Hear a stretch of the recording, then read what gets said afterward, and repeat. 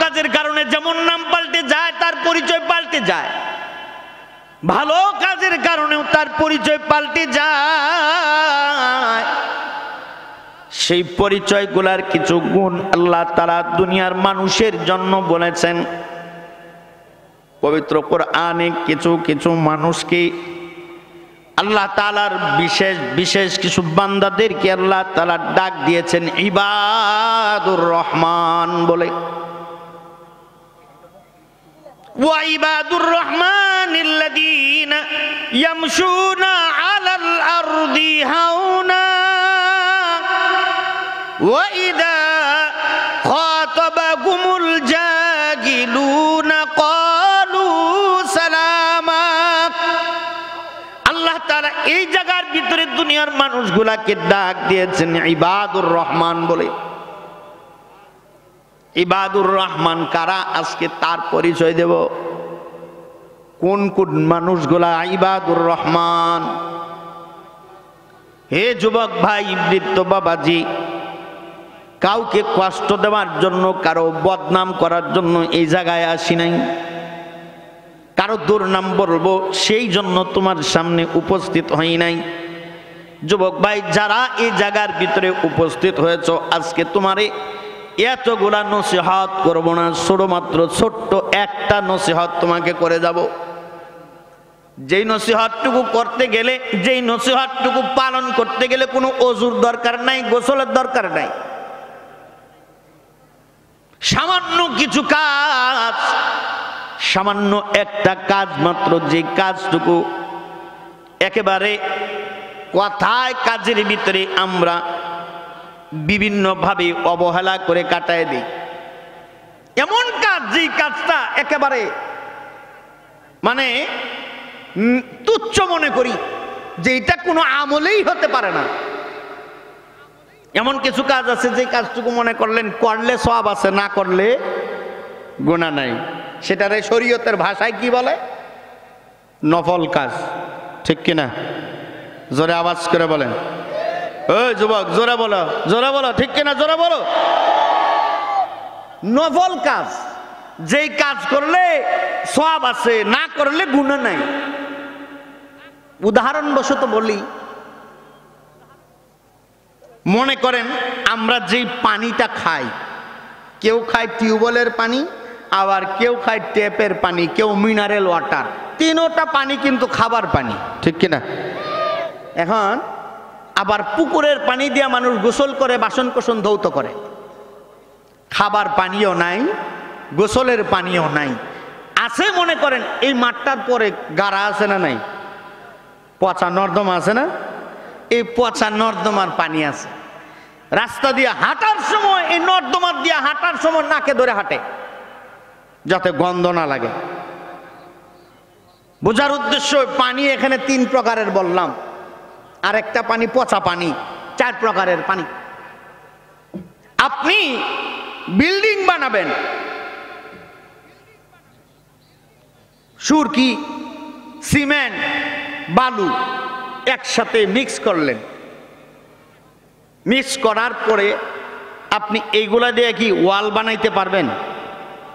ঢালাই করতে পারবেন? যে পর্যন্ত পানি দেওয়া না হবে এই পর্যন্ত ঢালাই ধরবে। জোরে আওয়াজ করে বলেন। কিন্তু আপনার কাছে তো ওই খাবার পানিও নাই। আপনার কাছে ওই গোসলের পুকুরের ভালো পানিও নাই। কিন্তু আপনার বাড়ির পাশে নর্দমার পানি, পচা পানি আছে।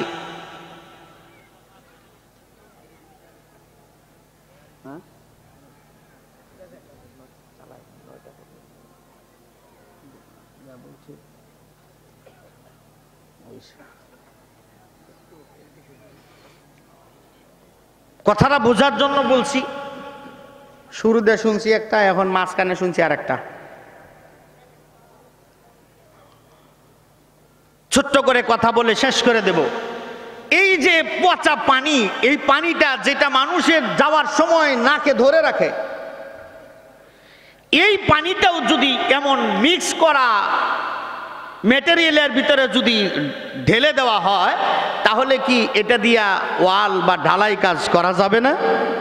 জোরে আওয়াজ করে বলেন। সময় উচিত। এমন নগণ্যতম নগণ্য জিনিসটাও অনেক দামি। ঠিক কিনা? ঠিক এমন একটা নগণ্য কাজ আপনাদের সামনে আজকে বলব। বুঝার জন্য বলতেছি কথাটুকু। আল্লাহ তারা ইবাদুর রহমান বলে ডাক দিয়েছেন দুনিয়ার মানুষকে। এই জায়গার ভিতরে ইবাদুর রহমান কারা? তাদের প্রথম গুণ। আল্লাহ তাআলা বলেন ওয়াইবাদুর রহমানিল্লাযীনা ইয়ামশুনা আলাল আরদি হাওনা। ওই গুলো দুনিয়াতে ইবাদুর রহমান। যে মানুষগুলার ভিতরে পাওয়া যাবে নিচু ভাব। যে মানুষগুলার ভিতরে কোনো প্রকার অহংকার থাকবে না, তাকাব্বরি থাকবে না। যে মানুষগুলার ভিতরে, যে মানুষগুলা একেবারে তার আমিত্ব ভাব মিটায় দিবে, তার ভিতরে অহংকারের লেশমাত্র থাকবে না। চলার সময় নিচু হয়ে চলবে, নিচু সরে চলবে। মানে সে এই দুনিয়ার ভিতরে তেমন উল্লেখযোগ্য কোনো পার্সন নয়। নিজেরে ছোট বানায়া এই দুনিয়াতে চলা, এটা হলো আল্লাহ তালার ইবাদুর রহমান, আল্লাহর প্রিয় বান্দাদের একটা গুণ। যাতে করে তোমার এই অহংকারের মাধ্যমে, যাতে করে তোমার এই অহংকারের মাধ্যমে দুনিয়াতে কোনো মানুষের দ্বারা কোনো কষ্ট না যায়। কথাটা বোঝার জন্য বলি, মহাদ্দিসেনে কেরাম লিখেন মুফাসসিরিনে কেরাম লিখেন হজরতে আয়সা রাদি আল্লাহ তালানহা হজরতে আয়সা রাদি আল্লাহ তালানহা আল্লাহর রসুলের কাছে বসা। বসার সময় আল্লাহর রসুল হজরত আয়সাকে বলতেছে আয়সা আজকে তুমি আমার কাছে যাই চাইবা, আমি তোমাকে তাই দান করব, বলো তুমি আজকে কি চাও? হজরত আয়সারাদি আল্লাহ তালানহা বলেন, মনে মনে চিন্তা করতেছি, আমি কি চাইতে পারি, কি চাবো, কি চায়া আমি ঠইগা যাই। আর এখনকার এখনকার স্ত্রীদেরকে যদি তার স্বামী বলে, তুমি আজকে যা চাইবা, তাই পাইবা, তাইলে সবার আগে চাইতো আমার এই তিন বড়ি ওজনের একটা নেকলেস দাও। ঠিক কিনা আওয়াজ করে বলেন? এক জোড়া কানের ফুল। এক জোড়া সুরি। কিন্তু হজরত আয়েশা, উনি আল্লাহর রসুলকে বলতেছি আমি আমি যা চাবো আপনি তাই দিবেন। তবে আমি তো ছোট মানুষ, আমি কি চাইতে, কি চেয়ে ফেলি? হুজুর, আপনার কাছ থেকে যদি একটু সুযোগ হয় তাইলে আপনি আমাকে একটা দিন সুযোগ দেন, আমি একটু পরামর্শ করে লই। সোহান আল্লাহ কনজরে পরামর্শ চাইছি। আপনার পারিবারিক কাজ হোক, সামাজিক কাজ হোক, নিজের ব্যক্তিগত কাজ হোক, আপনার মহাব্বতের মানুষ যিনি, তার সাথে আপনি পরামর্শ করে করেন। ঠিক কিনা জোরা বলেন? এটা হলো সুন্নত। এখন হজরত আয়েশা রাদিয়াল্লাহু তাআলা না হজরত আবু বকরের কাছে গেছে। আবু বকর হজরত আয়েশার বাবা না? জোরে বলেন। কিছু, এই জায়গার ভিতরে সময় কমের জন্য বলে দিতে আর একটা কথা। কিছু কিছু লোক আছে, যখন মেয়েরা যখন নিজের বাবার বাড়িতে যায়, বাপের কাছে পরামর্শ করে, করতে যায়, তখন শ্বশুর, শাশুড়ি এই বউগুলারে দেখতে পারে না। রাগ করেন না কেউ? তার বাবার কাছে গিয়ে বলতেছে, বাবা, আল্লাহ রসুল আমাকে বলেছে, আমি যা চাবো তাই দিবে। হজরত আবু বকর বলে, মা, তুই কি চাইছ না, আমি কিছু চাই নাই। তুই কি বলছো? বলছি, আমি একটু পরামর্শ করে লই, তারপরে সামু আলহামদুলিল্লাহ, ভালো কাজ করছ। তুমি আল্লাহ রসুলের কাছে যা চাইবা, আল্লাহ রসুলের কাছে যা চাইবা, ওই যে মেয়ারাজের